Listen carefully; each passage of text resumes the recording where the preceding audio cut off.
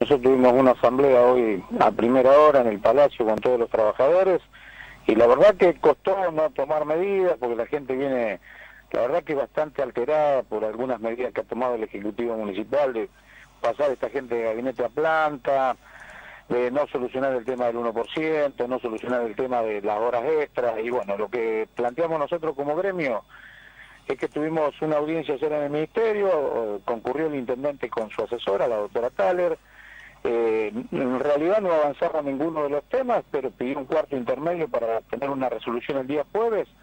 Y nos pareció como sindicato no darle motivo a que planteara que él va al ministerio a arreglar los temas y nosotros le, terminamos haciendo alguna medida de fuerza, así que conversamos con todos los trabajadores, hoy bueno, venimos teniendo una asamblea más que importante, más de 300 trabajadores, nos juntamos en el patio de la municipalidad y eh, le pedimos a los trabajadores de suspender la medida hasta el día jueves, ver la posibilidad de que el día jueves se solucionen los temas en Capitán Bermúdez, y si no, obviamente el jueves, si no hay respuestas favorables, quedaremos liberados y obviamente el viernes comenzarán las medidas nuevamente. Usted nos decía ayer en el canal, es la última reunión que, la reunión que vamos, después, ¿se soluciona o se...?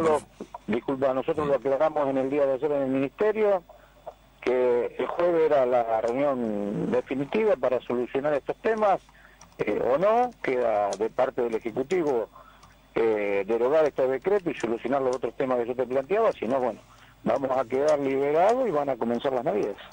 Bueno, lo llevo a Ricardones, es otro de los puntos salientes, ¿no? Porque hace rato que viene habiendo allí un problema. Ayer cortaron la ruta, después fueron a la casa de la presidenta comunal y hoy pacíficamente están allí dentro de la comuna esperando cobrar los trabajadores. ¿Cómo es el tema ahí? Sí, exactamente. Yo estoy volviendo de una asamblea que tuvimos recién en,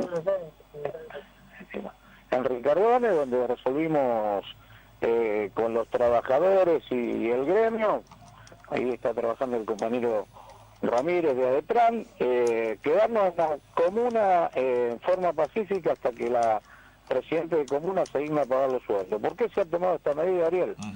Porque en realidad no es la primera vez que el Sabianco, presidente de comuna, eh, no paga los sueldos en tiempo y forma y con el agravante que no tiene problema de darle a los trabajadores cheques sin fondo. El día viernes le ha entregado los cheques a los trabajadores planteando de que en la cuenta de la comuna estaba la plata y fueron a ir al banco y no tenían peso en la cuenta. ¿Es verdad que le dieron un, cheque del 2014?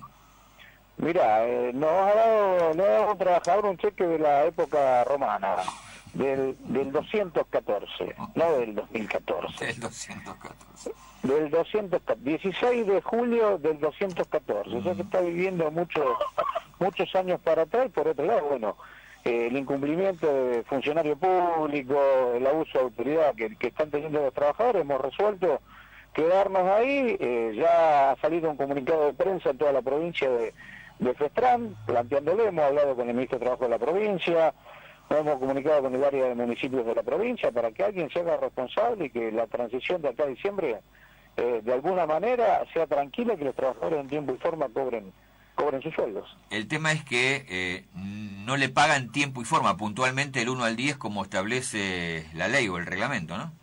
Del 1 al 7 de cada mes ella tendría que terminar de pagar los sueldos. Lo que ha hecho esta señora durante mucho tiempo, este mes ha pagado antes el aguinaldo y cuando llegó el día 7 para pagar los sueldos, plantea claramente que no tiene para pagar los sueldos. Y bueno, esta señora ha entrado a la comuna, se ha quedado ahí, dijo que se iba a quedar junto con los trabajadores, pero que no tiene la plata. Nosotros obviamente eh, fuimos a hablar con, el comisario de Ricardone para que hiciera un acto y que dejara un policía acompañando a esta mujer, pues no sabemos qué decisión puede tomar. A lo mejor plantea que los trabajadores le faltan el respeto o que nos llevamos algo de la comuna y queremos tener la, garantía que los trabajadores lo único que están haciendo es esperar cobrar los sueldos. Había un rumor que nos había llegado ayer a la producción de Canal 2 de que la señora había pagado una cifra o habría pagado una cifra de cerca de eh, seis dígitos a su hijo por una prestación del camión o de un camión contratado por la comuna. ¿Hay algo de cierto o es producto de toda esta situación que también se generan rumores falsos? Sí, sí, Ariel, te ha llegado buena información. Siempre manejas buena información. En realidad, el hijo factura en la municipalidad con un camión y una empresa que tiene corte de maleza y le ha pagado 480 mil pesos a esa empresa y no le ha pagado obviamente a los trabajadores. Mm,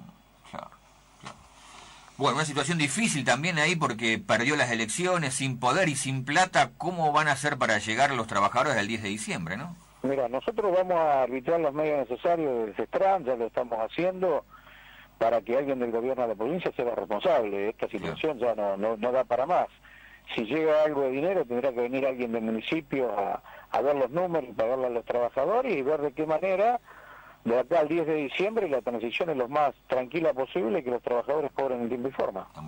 Bueno, y a partir de hoy también paro, va, no sé si hoy o de las últimas horas, paros en Beltrán también, y ahí se unen los dos sindicatos, ¿no? Sí, exactamente. Ahí en Beltrán eh, ha comenzado una medida de fuerza por la falta de pago de aguinaldo.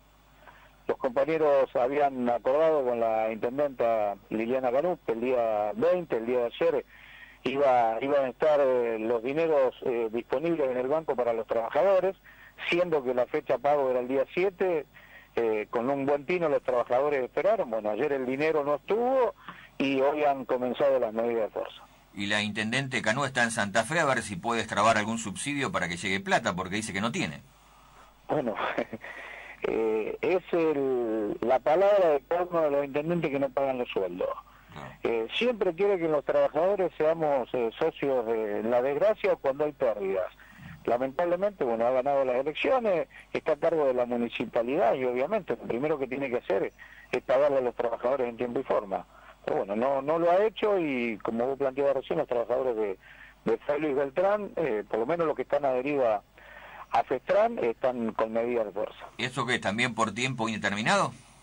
Y hasta que no cobren los sueldos eh, no van a levantar la medida, es lo que me ha hecho llegar el secretario general eh, Miguel Santa Cruz. Nosotros tuvimos una regional de los cinco sindicatos del cordón para interiorizarnos de todos los temas y bueno, estamos eh, de parte de la FESTRAN hoy en, en la mayoría de los conflictos tratando de ver cómo, cómo se van solucionando. Perfecto. Bueno, y también me dijo que hubo un inconveniente aquí en Baigorria hoy a la mañana. Sí, exactamente. Tuvieron un par de horas de medida de fuerza los compañeros del, del obrador, del corralón municipal, porque bueno, ayer habían dejado sin efecto cuatro compañeros eh, que tienen contrato, pero se pudo conversar hoy con Adrián Magia y llegar a un entendimiento. Él planteaba que estos trabajadores, como tienen derechos, también tienen obligaciones, nos ha mostrado los los legajos y había algunos problemas de falta y eso nosotros vamos a, a tener una reunión mañana en el sindicato con estos trabajadores para plantearles, bueno, que hoy se pudo solucionar este tema, se van a volver a hacer eh, los contratos, van a estar cinco días sin trabajar y se van a volver a hacer eh, los contratos, pero bueno, eh, claramente, como me conocen hace mucho tiempo, los trabajadores como tenemos derecho, tenemos obligación, así que bueno, las obligaciones también hay que cumplirlas. Es decir, que no era por una cuestión monetaria, sino por una cuestión de calidad laboral que se habían dejado sin efecto estos trabajadores contratados.